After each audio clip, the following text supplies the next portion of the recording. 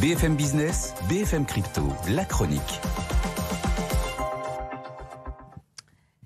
Et on retourne à Euronext à Paris pour parler euh, crypto. Et Antoine, alors là, je sais, qu'est-ce qui se passe? Parce que c'est la débandade complète sur le Bitcoin, carrément, là, c'est la chute libre. Oui, il y a encore 4 jours, on était à 63 000 dollars. Là, on tombe comme une pierre. 55 000 ce matin. On perd quasiment 10% en 5 jours et plus de 21 sur un mois.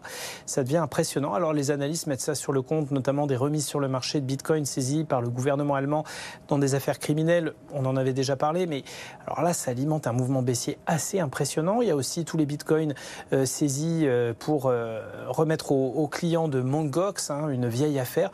Du coup, l'Ether suit dans le sillage et tombe même sous les 3 000 dollars. On perd 15% en 5 jours. Pareil pour l'XRP qui perd 7 cents depuis le début de la semaine à 40. Solana, Cardano perdent également 17%.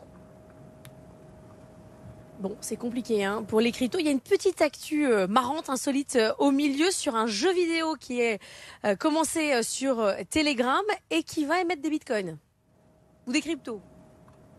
Oui, parce que c'est assez anecdotique au départ. Le jeu s'appelle Hamster Combat. Alors je vous passe un petit jeu de stratégie avec des hamsters, euh, combat, euh, préservation, euh, particulièrement addictif. Hein. Et ce jeu est né sur la messagerie Telegram.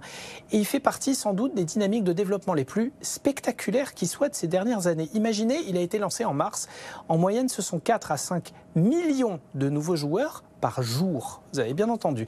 En 73 jours, Telegram dénombrait sur ce service 100 millions d'utilisateurs mensuels réguliers et on est, selon le patron de Telegram, Pavel Durov, à l'heure actuelle à 239 millions d'utilisateurs en 80 jours.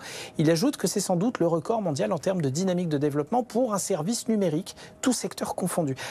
Qu'est-ce que ça a à voir avec les cryptos, vous me direz? Ben, Bientôt, Hamster Combat, effectivement, va disposer de sa propre crypto, comme d'habitude, pour acheter des skins, des caractéristiques, avancer plus vite, etc.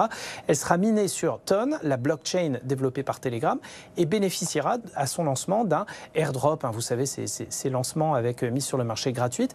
Mais au vu du portefeuille d'utilisateurs du service, cette crypto va sans doute d'entrée de jeu battre tous les records en termes d'adoption, de quoi faire rentrer d'un coup dans le Web3 plusieurs dizaines de millions d'utilisateurs d'un coup et concrétiser le vieux rêve de Pavel Durov, transformer Telegram en véritable réseau social Web3 avec même sa crypto intégrée, la fameuse application à tout faire dont rêvent tous les grands réseaux sociaux, y compris Elon Musk avec X.